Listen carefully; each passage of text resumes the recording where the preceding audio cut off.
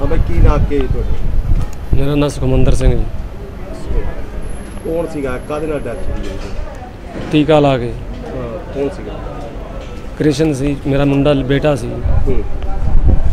ਕਿੰਨਾ ਟਾਈਮ ਹੋ ਗਿਆ ਨਸ਼ੇ ਦਾ ਤਾਂ ਜੀ ਉਹ ਸਾਲ ਸਾਲ ਤੋਂ ਸਾਲ ਹੀ ਹੋ ਚੱਲਿਆ ਸੀ ਕਰਦੇ ਨੂੰ। ਹੂੰ। ਹੁਣ ਉਹਦਾ ਦਵਾਈ ਦਵਾਈ ਸੀਗੀ ਉਹਨੂੰ। ਤੇ 15 20 ਦਿਨਾਂ ਤੋਂ ਘਰੇ ਸੀ ਉਹ। ਹੂੰ। ਕੱਲ ਉਹ ਆਇਆ। ਹੂੰ। ਤੇ ਸੱਤੀ ਨਾਂ ਦਾ ਬੰਦਾ ਸ਼ਾਮ ਖੇੜੇ ਦਾ ਸੀਗਾ। ਹੂੰ ਪਿਓ ਪੁੱਤੀ ਸੀ ਦੋਨੇ। ਉਹਨਾਂ ਨੇ ਉਹਨੂੰ ਦਿੱਤਾ ਨਸ਼ਾ ਜੀ। ਤਾਂ ਉਹਦੀ ਡੈਥ ਹੋਈ ਹੈ। ਬੈਠੇ ਵੀ ਕੋਲੇ ਹੀ ਸੀ ਮੌਕੇ ਤੇ ਉਹ। ਆ ਬਾਂਝ ਹੀ ਰਹਿ ਗਿਆ ਸੀ। ਹਾਂ ਟੀਕਾ ਬਾਂਹ 'ਚ ਰਹਿ ਗਿਆ ਸੀਗਾ ਜਦੋਂ ਚਲੇ ਗਏ ਤੇ ਅਸੀਂ ਉਹਨੂੰ ਸਾਂਭਣ ਲੱਗ ਗਏ। ਉਹ ਕਿ ਟੱਪ ਗਏ ਕਿਸੇ ਪਾਸੇ। ਕਿੰਨੇ ਬੱਚੇ ਕਿੰਨੇ ਨੇ ਤੁਹਾਡੇ? ਮੇਰੇ ਤਿੰਨ ਬੱਚੇ। ਆ। ਮੁੰਡੇ ਕਿੰਨੇ? ਮੁੰਡਾ ਇੱਕੋ ਹੀ ਸੀ। ਜਿਹਦੇ ਹੋਈ ਹੈ ਜਿਹਦੀ ਡੈਥ ਹੋਈ ਹੈ। ਕੀ ਹੋਰ ਮਤਲਬ ਇਹਨਾਂ ਦੀ ਕੀ ਮੈਰਿਜ ਹੋਈ ਹੈ ਕਿ ਕਿੰਨੇ ਬੱਚੇ ਨੇ? ਨ- ਹਾਂ ਜੀ ਬੇਟਾ ਉਹਦਾ ਇੱਕ ਸਾਲ ਕੁ ਦਾ। ਹਾਂ। ਕਿੰਨੀ ਉਮਰ ਕਿੰਨੀ? ਮੇਰੇ ਬੇਟੇ ਦੀ 23 ਸਾਲ। ਕੀ ਮੰਗ ਕਰਦੇ ਕੋਈ ਪ੍ਰਸ਼ਾਸਨ ਤੋਂ ਮਤਲਬ ਜਿਹੜੇ ਹੈ ਕੋਈ ਨਾ ਇਸ ਆਪਾਂ ਤਾਂ ਜੀ ਇਹ ਪ੍ਰਸ਼ਾਸਨ ਤੋਂ ਮੰਗ ਕਰਦੇ ਆ ਕਿ ਜਿਹੜੇ ਹੋਰ ਕਿਸੇ ਦੇ ਬੱਚੇ ਆ ਉਹ ਨਾ ਇਸ ਤਰ੍ਹਾਂ ਹੋਣ।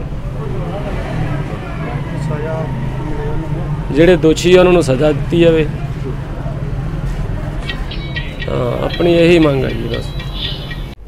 ਸਰ ਇੱਕ ਨੌਜਵਾਨ ਦੀ ਕੋਈ ਨਸ਼ੇ ਦੀ ਓਵਰਡੋਜ਼ ਨਾਲ ਕੋਈ ਮੌਤ ਹੋਈ ਹੈ। ਕੀ ਹੈ ਜੀ ਮਾਮਲਾ? ਪੁਲਿਸ ਵੱਲੋਂ ਕੀ ਕਾਰਵਾਈ ਕੀਤੀ ਗਈ ਹੈ? ਇਹ ਸੁਖਮੰਦਰ ਸਿੰਘ ਪੁੱਤਰ ਮੌੜਾ ਸਿੰਘ ਵਾਸੀ ਧੌਲਾ ਨੇ ਸਬ ਇੰਸਪੈਕਟਰ ਸੁਖਦੇਵ ਸਿੰਘ ਮੁੱਖ ਅਫਸਰ ਥਾਣਾ ਕਬਰਾਲਾ ਪਾਸ ਆਪਣਾ ਬਿਆਨ ਲਿਖਾਇਆ ਕਿ ਉਸ ਦੇ ਲੜਕੇ ਕ੍ਰਿਸ਼ਨ ਸਿੰਘ ਨੂੰ ਸੱਤੀ ਤੇ ਉਸਦੇ ਬਾਪ, ਉਹਨਾਂ ਦੋਨਾਂ ਨੇ ਰਲ ਕੇ ਕੋਈ ਜ਼ਹਿਰੀਲਾ ਟੀਕਾ ਲਾ ਦਿੱਤਾ ਹੈ, ਜਿਹਦੇ ਨਾਲ ਉਹਦੀ ਮੌਤ ਹੋ ਗਈ ਹੈ, ਜਿਹਦੇ ਸੰਬੰਧ ਵਿੱਚ ਮੁਕੱਦਮਾ ਨੰਬਰ 125 ਅਧੀਨ ਧਾਰਾ 304 34 ਬੀ 34 ਆਈਪੀਸੀ ਥਾਣਾ ਕਬਰਾਲਾ ਦਰਜ ਰਜਿਸਟਰ ਕਰ ਲਿਆ ਗਿਆ ਲਾਸਟ ਦਾ ਪੋਸਟਮਾਰਟਮ ਕਰਾ ਰਹੇ ਹਾਂ। ਪੋਸਟਮਾਰਟਮ ਦੀ ਰਿਪੋਰਟ ਤੋਂ ਬਾਅਦ ਜੋ ਉਹਦੀ ਵਜ੍ਹਾ ਮੌਤ ਹੋਊਗੀ, ਉਹਦੇ ਮੁਤਾਬਕ ਅਗਲੀ ਕਾਨੂੰਨੀ ਕਾਰਵਾਈ ਕੀਤੀ ਜਾਵੇਗੀ